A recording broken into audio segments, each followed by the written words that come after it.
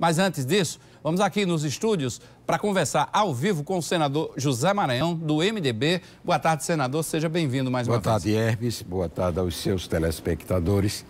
Dizer da minha alegria, da minha satisfação. Acabei de falar com o nosso comandante, Roberto Cavalcante, e a comandante Beatriz. dois, Beatriz. Isso. Beatriz, que dirige essa emissora, esse grupo, esse grupo de comunicação com aprumo, com inteligência e alta competência. O Roberto Cavalcante, além de diretor-presidente, foi senador da República, né? É, tivemos o prazer, o prazer e a proveitosa atuação de Roberto Cavalcante como senador da República durante o período em que me afastei para disputar o cargo de governador do estado. Senador, se o, caso o senhor seja eleito nessa eh, campanha, ainda estamos aí tratando de pré-candidaturas, eh, o que é que motiva uma pessoa como o senhor ser novamente, porque o senhor já passou por todos os cargos públicos, já, for, já ocupou os cargos mais importantes da, da, federa, da, da nação, eh, com exceção, claro, de presidência da República, mas o que é que motiva o senhor a disputar novamente um governo do Estado? A convicção de que posso ser útil ao meu estado, de que posso fazer mais pela Paraíba, cumprindo uma tarefa que outros não cumpriram ainda. Uhum, certo. Ah, aí tem uma questão que os seus adversários questionam sempre, principalmente nos bastidores, através de terceiras, de, de, de outras pessoas, de que o, a questão da sua idade em relação a essa disputa, que a, a política precisa renovar com candidatos novos. Como é que o senhor encara esse tipo de crítica? Eu acho que a política precisa renovar sempre no campo das ideias, no campo do trabalho. Se alguém, mesmo tendo a idade que eu tenho, se considera e pode produzir ideias novas, conceitos novos, esse alguém pode ser até mais útil, sem nenhuma soberba, de que outros que têm uma idade menor. É, eu estou vendo aí candidatos que ainda não apresentam um acervo de serviços prestados. Disse A, mas eles são jovens. Na idade que eles estavam, eu já tinha sido deputado estadual, deputado federal, e já tinha uma longa folha de serviços prestada à Paraíba.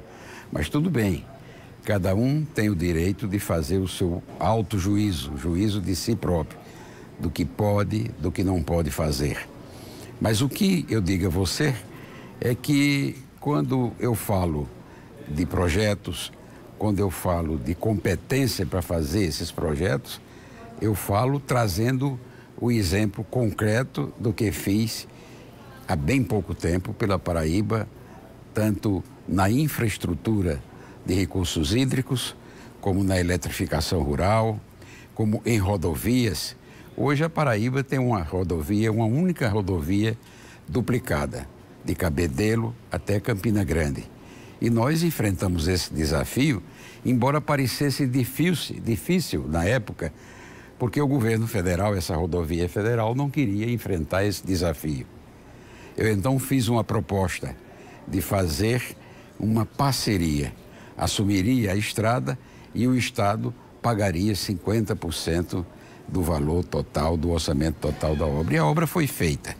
Eu sempre tive eh, coragem, graças a Deus, a coragem que nos dá é Deus, de enfrentar os desafios. Quando um dia me reuni com os empresários, eh, as classes produtoras chamadas, os intelectuais, os estudantes, os professores universitários e o comércio em geral e o povo, na Associação Comercial de Patos, havia um desafio. O que fazer para que Patos não continuasse sofrendo no, verão prolongado? Não precisava ser uma seca. Bastava chegar o mês de outubro, novembro, dezembro, Patos já passaria a depender de carro-pipa para ter água de beber. E lá, no auditório da Associação Comercial, eu atendendo o apelo da, dessa, desse auditório, que representava a totalidade do corpo social de Patos, eu afirmei que iria levar água do Curemas, mãe d'água, para abastecer Patos. Pouca gente acreditou. Talvez 20, 30%. Mas seis meses depois, a obra estava andando. Então, é, é a capacidade de enfrentar desafios, a coragem de enfrentar desafios, que me anima a aceitar a indicação do meu partido, porque aí é que está. Eu não pedi para ser candidato ao PMDB. O. PMDB, através de sua executiva, verificando que havia um vazio nesse campo, me convocou para ser candidato a governador. E aceitei. Uhum. Da mesma forma que lá atrás, eu aceitei o desafio de ser candidato a senador. Naquela época, a legenda estava inteiramente isolada, não tinha aliados. E era isso que assustava os candidatos na chapa proporcional, os candidatos a deputado estadual e federal. E eu fui convidado para ajudar a legenda a segurar o tranco. E nós fomos para a campanha sozinhos. Não é? O meu tempo de televisão naquela época era de apenas um minuto. Eu praticamente só tinha o direito de fazer o que Enéas uhum. naquela época fazia. Eu sou Enéas, como o meu nome era nome mais longo, partido, né? né José Tagino Maranhão, uhum. talvez não desse o tempo é, é suficiente. É e graças a Deus, os paraibanos reconhecendo o trabalho, o esforço e a forma corajosa, mas sempre humilde com que enfrentei os desafios que importam para a, o desenvolvimento econômico e social do nosso Estado. Ok, a gente volta a conversar com o senador no próximo bloco.